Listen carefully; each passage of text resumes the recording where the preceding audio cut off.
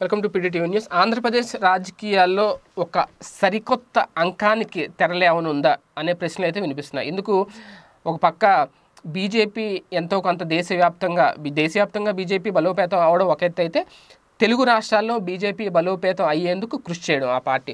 ఎందుకంటే భారతీయ జనతా పార్టీ అనేది చిన్న పార్టీ ఏం కాదు. ఒక జాతీయ పార్టీ దేశవ్యాప్తంగా అధికారంలో ఉంది. నేరుగా ఒక పన్నెండు రాష్ట్రాల్లో బీజేపీ ముఖ్యమంత్రులు ఉన్నారు. మొత్తం ఇరవై తొమ్మిది రాష్ట్రాల్లో. అలాగే మిగిలిన చాలా చోట్ల ఎన్డీఏ కూటమితో కూడా కట్టుగట్టిన ఎన్డీఏ కూటమితో కలిపి ఉన్న ముఖ్యమంత్రులు చాలామంది ఉన్నారు. అయితే ఇదే టైంలో తెలుగు రాష్ట్రాల మీద కూడా దృష్టి పెట్టింది ఆ పార్టీ. కంప్లీట్గా తెలుగు రాష్ట్రాల్లో అధికారం దక్కించుకోవాలని అయితే పావులు కలుగుతుంది అయితే తెలుగు రాష్ట్రాల్లో అధికారం దక్కించుకుంటుందా లేదా అనేది పక్కన పెడితే ఎందుకంటే ఆ విషయం మీద పెద్దగా చర్చించడానికి లేదు అందరికీ తెలిసిందే. ఒక బలమైన పార్టీలు ఇక్కడ ఆల్రెడీ ఉన్నాయి. తెలంగాణలో టీఆర్ఎస్ ఉంటే ఆంధ్రప్రదేశ్లో వైఎస్ఆర్సీపీ ఒక బలమైన పార్టీ ఉంది. అలాగే ఆంధ్రప్రదేశ్లో ఒక బలమైన ప్రత్యర్థి పార్టీ కూడా ఉంది. అంటే బలమైన ప్రతిపక్ష పార్టీ కూడా ఉంది. అంటే ఆంధ్రప్రదేశ్లో రెండు పార్టీలు ఢీకొట్టాలి అధికారంలోకి రావాలంటే రెండు పార్టీల మీద నెగ్గుకు రాగాలి. అలాగే తెలంగాణలో కూడా ప్రస్తుతం టీఆర్ఎస్ చాలా పటిష్టంగా ఉంది కాబట్టి టీఆర్ఎస్ నెగ్గుకు రావాలి. అయితే తెలంగాణ విషయం పక్కన పెడదాం. ఆంధ్రప్రదేశ్లో చూస్తే ప్రస్తుతం ఒక కాన్ఫిడెన్స్ అయితే కనిపిస్తుంది బీజేపీలో ఇటీవల బీజేపీ ఆయన ఏపీ బీజేపీ జాతీయ అధ్యక్షులు కన్నా లక్ష్మీనారాయణ మాట్లాడుతూ ఆయన కొన్ని వ్యాఖ్యలు చేశారు.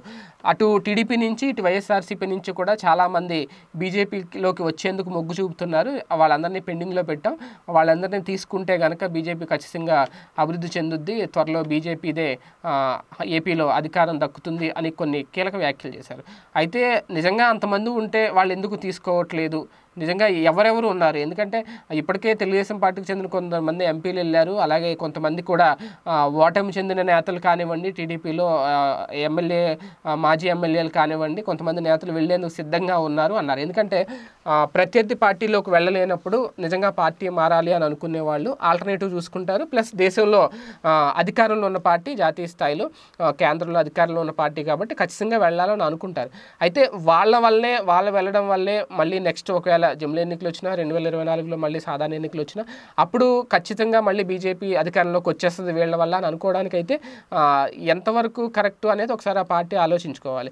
ప్రస్తుతం వీళ్ళ ముందున్న ప్రధాన విషయం ఏంటంటే ఒకవేళ నిజంగా బీజేపీ ఆంధ్రప్రదేశ్లో బలోపేతం అవ్వాలంటే ప్రత్యేక హోదా అంశం కూడా ఒక రకంగా వాళ్ళకి వాళ్ళ నిర్ణయానికి అడ్డుకట్టపడే అవకాశం ఉంది. ఎందుకంటే ప్రత్యేక హోదా మీద ఎలాంటి స్టాండు లేదు బీజేపీకి. ఒక రకంగా ఒక స్టాండ్ అయితే ఉంది హోదా ఇవ్వము అనే స్టాండ్ అయితే ఉంది. అదే టైంలో కాంగ్రెస్ కాంగ్రెస్ పార్టీ జాతీయ స్థాయిలో ఉన్న కాంగ్రెస్ పార్టీ కూడా మీ వస్తే హోదా ఇస్తామని ఆల్రెడీ ప్రకటించేసింది.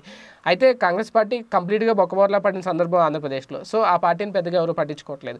ఇలాంటి టైంలో భారతీయ జనతా పార్టీకి కనుక ఛాన్స్ వస్తుందా?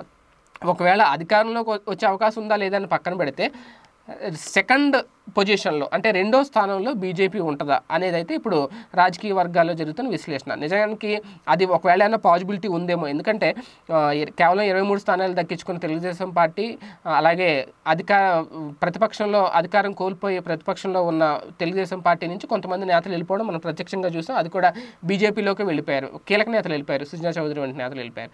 సో వాళ్ళ కింద కూడా ఒక క్యాడర్ ఉంటుంది. వాళ్ళ వెనకాల కూడా చాలా బలం ఉంటుంది. ఆ క్యాడర్ అంతా కూడా వెళ్ళిపోతున్న పరిస్థితి కనిపిస్తుంది. అదే టైంలో ఎమ్మెల్యే అభ్యర్థులు అలాగే కొన్ని నియోజకవర్గాల నుంచి మొత్తం నూట డెబ్బై ఐదు స్థానాల మంది టీడీపీ నేతలు వెళ్ళిపోతారని చెప్పలేం కానీ చాలామంది అయితే వెళ్ళిపోవడానికి సిద్ధంగా ఉన్నారు. పద్దెనిమిది మంది నేతలు రెడీగా ఉన్నారని చెప్పి ఒక ప్రకటన వచ్చింది బీజేపీ నుంచి.